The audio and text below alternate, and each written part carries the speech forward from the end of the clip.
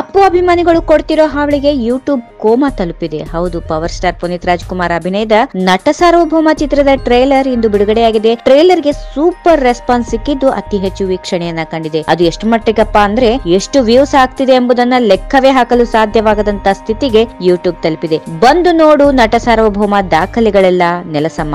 ಹೌದು, ಇದನ್ನ ಗಮನಿಸಿದ್ರೆ ಪವರ್ ಸ್ಟಾರ್ ಅಭಿಮಾನಿಗಳು ಯೂಟ್ಯೂಬ್ ಕೋಮಾ ತಲುಪಿದೆ ಎಂದು ಕಾಲೆಳೆಯುತ್ತಿದ್ದಾರೆ. ಯೂಟ್ಯೂಬ್ ಕೋಮಾ ಸ್ಥಿತಿಯನ್ನ ತರಿಸುವಂತೆ ಟ್ರೋಲ್ ಮಾಡಲಾಗುತ್ತಿದೆ. ಸದ್ಯ ನಟ ಸಾರ್ವಭೌಮ ಟ್ರೇಲರ್ ಒಂದು ಮಿಲಿಯನ್ ವೀಕ್ಷಣೆಯನ್ನ ದಾಟಿದೆ ಅಂತೆ ಇದನ್ನ ಲಹರಿ ಸಂಸ್ಥೆ ತಮ್ಮ ಟ್ವಿಟರ್ ಖಾತೆಯಲ್ಲಿ ಖಚಿತಪಡಿಸಿದೆ. ಅಷ್ಟೇ ಅಲ್ಲ, ಯೂಟ್ಯೂಬ್ ಟ್ರೆಂಡಿಂಗ್ನಲ್ಲಿ ನಂಬರ್ ಒನ್ ಸ್ಥಾನದಲ್ಲಿದೆ. ಆದ್ರೆ ಯೂಟ್ಯೂಬ್ನಲ್ಲಿ ಕೇವಲ ಏಳು ಲಕ್ಷ ತೋರಿಸುತ್ತಿದೆ. ಹೀಗಾಗಿ ಯೂಟ್ಯೂಬ್ ಕೋಮಾಗೆ ಹೋಗಿದೆ ಎಂದು ಹೇಳುತ್ತಿದ್ದಾರೆ. ಈ ಬಗ್ಗೆ ಪವನ್ ಒಡಿಯಾರ್ ಟ್ವೀಟ್ ಮಾಡಿದ್ದು, ಯೂಟ್ಯೂಬ್ ಕೋಮಾಗೆ ಹೋಗಿದೆ ಎಂದು ಅವರೇ ಹೇಳಿ ಹಾಸ್ಯ ಚಟಾಕಿ ಹಾರಿಸಿದ್ರು. ಅಂದಾಗೆ ಯೂಟ್ಯೂಬ್ ಸ್ಟ್ರಕ್ ಆಗಿದ್ದು, ಇದೇ ಮೊದಲಲ್ಲ, ಈ ಹಿಂದೆ ಯಜಮಾನ ಹಾಡು ಹಾಗೂ ಪೈಲ್ವಾನ್ ಟೀಸರ್ ವೇಳೆಯೂ ಇದೇ ರೀತಿ ಆಗಿತ್ತು ಈಗ ಅಪ್ಪು ಅಭಿಮಾನಿಗಳ ಹಾವಳಿಗೆ ಯೂಟ್ಯೂಬ್ ಬಲಿಯಾಗಿದೆ.